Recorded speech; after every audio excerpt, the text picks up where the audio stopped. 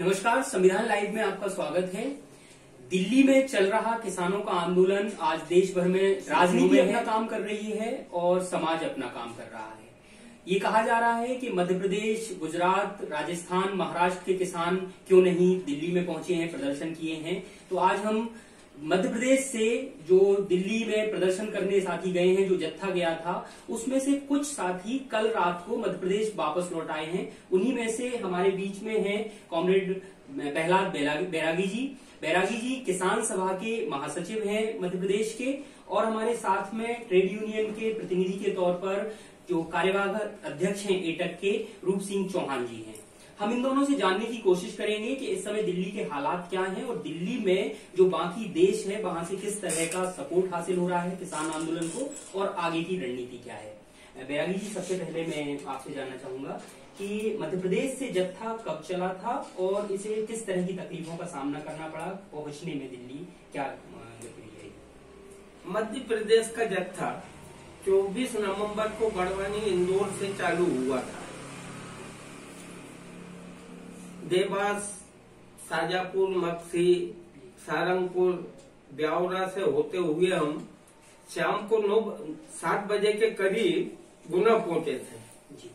गुना में हमारा रात्रि विश्राम था और सभा थी।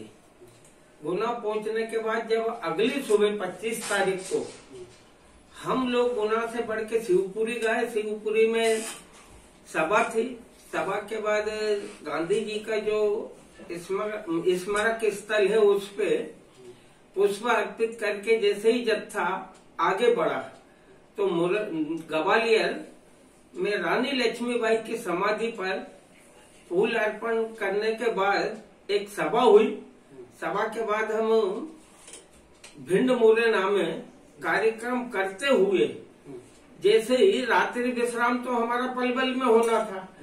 लेकिन राजस्थान और उत्तर प्रदेश के बॉर्डर पे जैसे ही हम पहुँचे, धौलपुर के बाद। धौलपुर के बाद। तो उत्तर प्रदेश की सीमा पे ज़बरदस्त पुलिस बल तैनात था। और इस कदर था उत्तर प्रदेश पुलिस का हुजूम देखने लायक था कि किसी डाकुओं पे आक्रमण करने की स्थिति में। जैसे ही हमारी गाड़ी बेरियल पे पहुँची, उन्होंने गाड़ियों को देखते ही उनके पास नंबर थे, अटैक करा। पूरे जत्थे की गाड़ियों को उन्होंने रोका। जब हमने उनसे मालूम करा कि भाई ऐसा क्यों?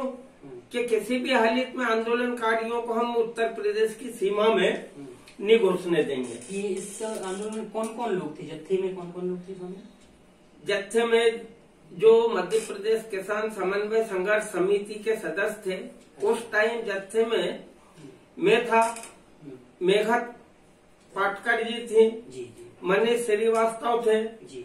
राहुल राज थे। हम्म। और बाकी हमारे तो कितने लोगों का लगभग जत्था था करीब करीब हमारा जत्था था तीन हज़ार के करीब। तीन हज़ार लोग। हाँ। जी।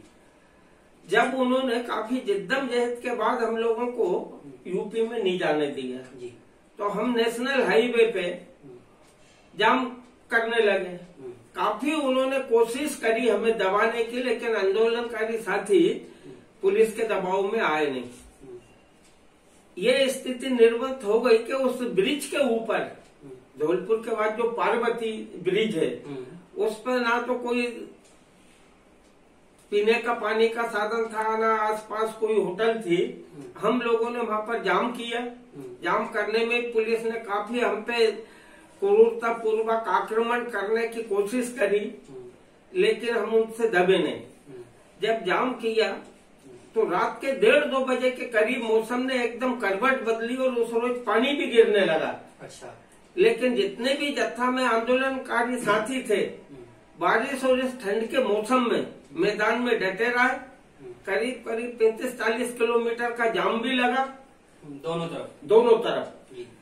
उत्तर प्रदेश आगरा के एसपी कलेक्टर भी वहाँ पर आए धौलपुर कलेक्टर एसपी भी पहुँचे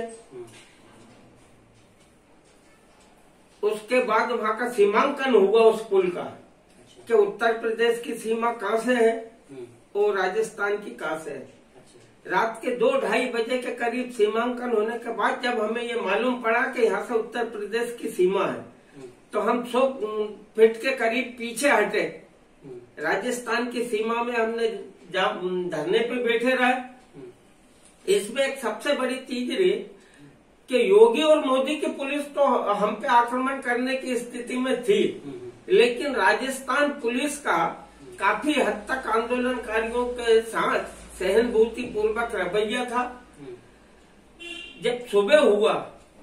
तो जो. 25 तारीख की सुबह हाँ पच्चीस तारीख की सुबह नहीं छब्बीस। छब्बीस की सुबह। 26 की सुबह। छब्बीस की सुबह आसपास के गाँव के लोग भी पहुँचे। आंदोलनकारियों का सपोर्ट करने लगे जो सरपंच वगैरह थे वो भी मदद पहुँचाने लगे धीरे धीरे फिर धौलपुर के जो विधायक थे रोहित बोरा वो भी धरना स्थल पर आए। धरना स्थल पर आने के बाद उन्होंने कुछ सबूल आंदोलनकारियों के लिए पानी वगैरह राशन का इंतज़ाम कराया, शाम को उन्होंने बिस्तर वगैरह की व्यवस्था करी। लेकिन जो ग्रामीण किसान थे, वो काफ़ी उत्साह वर्धित थे, आंदोलनकारियों से वो हर स्थिति में सपोर्ट कर रहे थे। लेकिन फिर भी बीच बीच में उत्तर प्रदेश पुलिस आंदोलनकारियों को दबाने के लिए 100-200 पुलिस गनमैनों को लाके बार बार राजस्थान की सीमा में वो प्रवेश करके आंदोलनकारियों को डराने धमकाने की कोशिश कर रहे थे। उस तो स्थिति में हमने भी फिर मन बना लिया था कि जैसे ही राजस्थान की सीमा में उत्तर प्रदेश पुलिस आती तो हम उनको खदेड़ देते थे। अच्छा। कि उत्तर प्रदेश पुलिस मुर्दाबाद योगी मोदी की तानाशाही मुर्दाबाद। तो लगाते रहे। उनकी हिम्मत नहीं हुई। जब 26 के शाम को पाँच बजे ऊपर से उनको आदेश मिला कि आप लोग प्रवेश कर सकते हैं उत्तर प्रदेश की सीमा।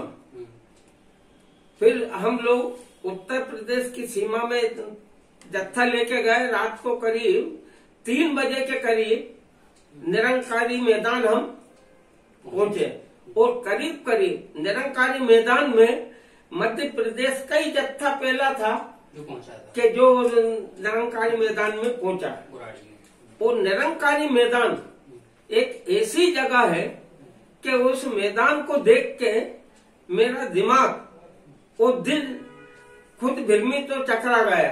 हम्म, उससे मेरे को ये लगता है कि रामलीला मैदान और दशहरा मैदान की जो मोदी सरकार ने परमिशन कैंसिल करी और निरंकारी मैदान चुना। निरंकारी मैदान एक तो पूरा जंगल में है जंगल के बाद उसकी स्थिति एक तालाब की तरह है। हम्म, चारों तरफ़ से ऊंचाई है उसमें झील टाइप में वो मैदान है। और उससे ये मेरे को लग, साफ़ ज़ाहिर होता कि मोदी और अमित शाह की जोड़ी अगर किसान आंदोलनकारी वहाँ पर इकट्ठे हो और जो बार बार ये कह रहे हैं कि निरंकार मैदान में आइए और हम चर्चा करेंगे। तो ये जलिया वाला बाग भी बना सकते हैं। जानना चाहूँगा कि इन कानूनों में क्या किसानों को किसान विरोधी लगता है? सरकार कह रही है कि ये कानून किसानों के हित में है। तो इसमें विरोध आपका किन मुद्दों को लेकर है और इस आंदोलन के क्या मुद्दे हैं? खासतौर पर सबसे बड़ा जो इनके तीन कानून है उसमें न्यूनतम समर्थन मूल्य।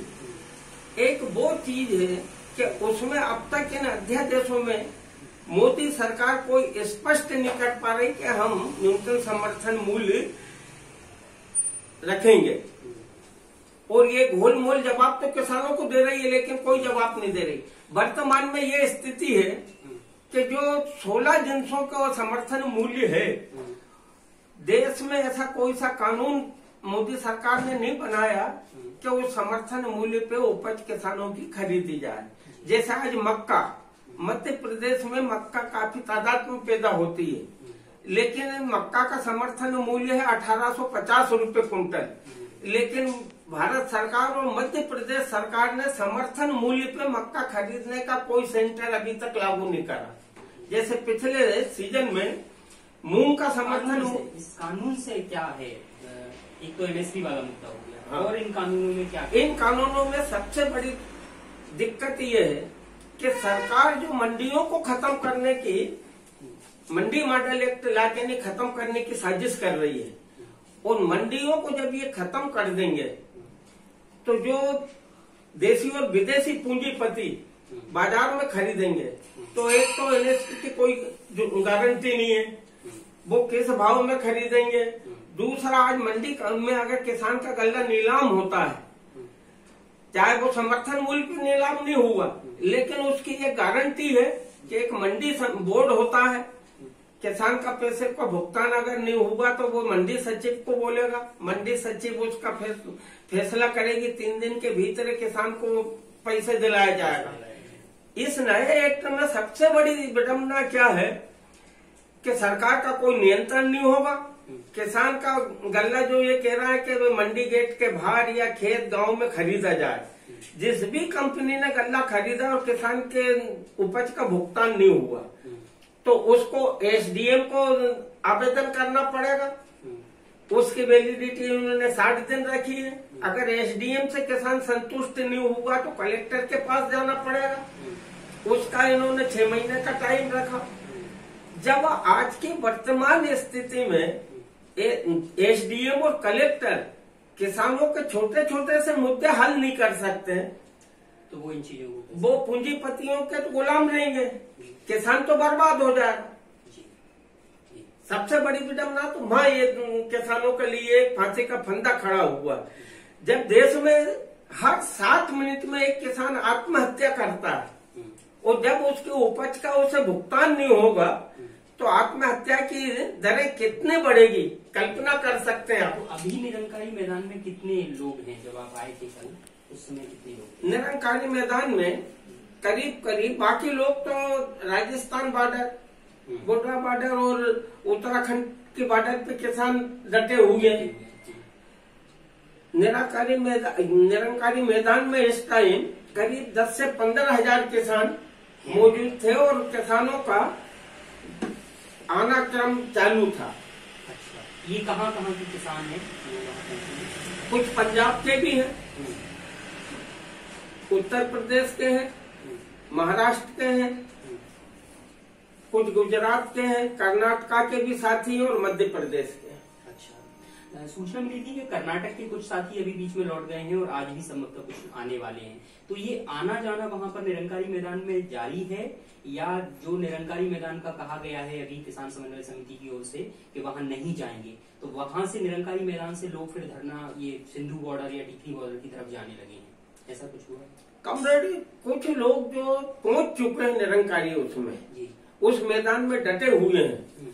लेकिन राष्ट्रीय किसान संघर्ष समन्वय समिति भी जो बोल रही है हम्म। वो सही है हम्म। बाकी अगर केंद्र सरकार को चर्चा करना है तो जहाँ ज़्यादा तादाद में किसान डटे हुए हैं और वो निरंकारी मैदान में आने का मना कर रहे हैं हम्म। तो सरकार को उन्हीं जगहों पे जाके चर्चा करना चाहिए और निरंकारी मैदान में हम्म। किसानों का आना जाना है और किसान डटे हुए हैं हम्म। लेकिन केंद्र सरकार की और मोदी अमित शाह की जो नीयत है उस हिसाब से मेरा मानना है कि चर्चा बॉर्डर पे होना चाहिए निरंकारी मैदान पे नहीं। तो निरंकारी मैदान में जैसा कहा जा रहा है कि वहाँ पर सुविधाएँ दी गई हैं सब कुछ उनके बंदोबस्त किए गए हैं। क्या बंदोबस्त किए हैं केंद्र सरकार की सुविधा ये है कि उस मैदान को चारों तरफ़ से ऐसा पुलिस और से हाईजेक कर रखा है कि। सशस्त्र बल वहाँ पर हज़ारों की संख्या में तैनात है अंदर और बाहर छावनी बना रखा है उस स्थिति में सबूलियत जो दे रहा है तो वहाँ पर सिर्फ़ केजरीवाल सरकार की तरफ़ से मिल रही, केंद्र सरकार की तरफ़ से कोई सबूलियत नहीं है तो कॉमरेड, ये बहुत महत्वपूर्ण जानकारी दी आपने, एक तरह से पूरा हाल बताया, दृश्य बताया कि कैसे कैसे लोग गए और वहाँ पर उनको क्या समस्याएँ आई हैं निरंकारी मैदान की अभी क्या स्थिति है। दिल्ली के बाकी पाँचों जो बॉर्डर हैं फरीदाबाद का बॉर्डर है सोनीपत का बॉर्डर है गाजियाबाद का बॉर्डर है, टीकरी बॉर्डर है और सिंधु बॉर्डर है। इन पाँचों जगहों पर अभी बड़ी संख्या में किसान मौजूद हैं और इन किसानों को अलग अलग ट्रेड यूनियन से लेकर विभिन्न डेमोक्रेटिक संगठनों का भी सहयोग मिल रहा है। ट्रेड यूनियन की तरफ़ से मैं कॉमरेड आपसे जानना चाहूँगा कि ट्रेड यूनियन की जो समन्वय समिति है जो ट्रेड यूनियनों का ऑल इंडिया कम्युनिकेशन है उसमें किस तरह की बातचीत चल रही है और आगे इस आंदोलन को ले जाने में ट्रेड यूनियन की क्या भूमिका देखते हैं आप? देखिए अगर आप ट्रेड यूनियन की बात करें तो 26 तारीख की हड़ताल दो मुद्दों पर थी। बेसिकली जो मुद्दा था वो किसानों का आंदोलन था। ऐसा नहीं कि डिमांड हमारी नहीं थी डिमांड हमारी भी थी मजदूरों की डिमांड भी थी। उसमें लेकिन हड़ताल टोटल जो हुई उसके दो मुद्दे थे मुख्य मुख्य बात थी कि मजदूर और किसान दोनों को बराबर का अधिकार मिलना चाहिए। सरकार ने जो अभी परिवर्तन किया है चाहे वो किसानों के लिए हो या कि मजदूरों के मजदूरों का तो बोलने की यहाँ आवश्यकता कम है। लेकिन किसानों का जो आंदोलन का जो मामला है खास तौर से जो मिनिमम बेज जो डिसाइड होता था गेहूँ का. जवान का एनएसपी के मामले में वो मामला बहुत गड़बड़ है। और गड़बड़ इसलिए है कि सरकार खुद कह रही है कि हाँ नहीं ऐसा कुछ नहीं होगा। लेकिन बाव- बावजूद इसके अगर आप पूरे इलाके में देखें तो जब एनएसपी खत्म हो जाएगा तो क्या होगा? हर आदमी जानता है। हर किसान जो समझदार है वो समझ रहा कि ये सरकार ने आप एक बात तय मान लीजिए कि आने वाले कल में ट्रेड यूनियन आंदोलन अपनी तेज़ी पकड़ेगा और किसान आंदोलन अपनी तेज़ी तो दोनों आंदोलनों को किस तरह का सहयोग है? ट्रेड यूनियन और किसानों के बीच में किसी तरह का समन्वय देखते हैं क्या? समन्वय ये है अ, मैं जो जहाँ तक समझ पाया अभी तक कि निश्चित तौर पर किसानों के साथ ट्रेड यूनियन जाएगी लेकिन किस हद तक जाएगी ये अभी कहा नहीं जा सकता। और अभी ऑल इंडिया लेवल पर शायद किसान संगठन और यूनियन में जी मैं आपसे ये जानना चाहता हूँ कि अभी जो हालात हैं केंद्र सरकार मानने को तैयार नहीं है शर्तें लगा रही है किसानों से बातचीत करने के लिए और किसान अपनी मांग पर अड़े हुए हैं कि वो तब जब तक सस- बिना शर्त के बातचीत नहीं होती है और एमएसपी वापस ले जाने एमएसपी को पुरानी व्यवस्था को लागू नहीं किया जाता है तब तक वो वहाँ से नहीं हटेंगे और कानूनों को वापस नहीं लिया जाता है। आगे की रणनीति किसान समन्वय समिति की क्या है? और कम्युनिकेशन किस तरह से हो रहा है? क्योंकि ये पाँच जगह पर किसान बटे हुए हैं क्या इनकी एक साथ बैठक किसी जगह पर होती है या फिर तकनीकी तरीके से कोई बातचीत हो रही है? आगे क्या प्लान है? अभी का जो हालात है केंद्र सरा- सरकार अपने हट हट धर्मी और हिटलर साइड पे बरकरार है। लेकिन ये तीन कानूनों को लेके हम्म, देश का किसान खुद इतना उत्तेजित हो चुका है कि सरकार अगर इन कानूनों को वापस नहीं लेती है, और सरकार सही ढंग से अगर किसानों से बात नहीं करेगी तो आने वाले टाइम में दिल्ली तो घेर रखी है लेकिन दिल्ली में भी किसान उग्र आंदोलन करेंगे और देश की हर राजधानी और ज़िले कस्बों में ये आंदोलन, एक चिंगारी का काम करेगा। और समय रहते हुए केंद्र सरकार को तत्काल ये तीनों कानून वापस लेना चाहिए। किसानों को धोखा या लब्बाजी जो अब तक ये करते आए, वो कतई नहीं करना चाहिए। जैसे 2013 के भूमि अधिग्रहण बिल था, इन्होंने वादा करा था कि अगर हम सत्ता में आए तो सौ दिन के अंदर स्वामीनाथन आयोग की सिफारिश सिफारिश के अनुसार समर्थन मूल्य घोषित करेंगे। भूमि अधिग्रहण बिल 2013 हम लागू करेंगे। लेकिन उसका साफ़ उदाहरण है कि सत्ता में आने के बाद नानो, ना तो इन्होंने न्यूनतम समर्थन मूल्य स्वामीनाथन आयोग की सिफारिश के अनुसार लागू करा, बल्कि उसके खिलाफ में इन्होंने सुप्रीम कोर्ट में हल्फनामा दिया कि अगर स्वामीनाथन आयोग के हिसाब से हम सिफारिश लागू, समर्थन मूल्य घोषित करेंगे तो देश में महँगाई बढ़ जाएगी।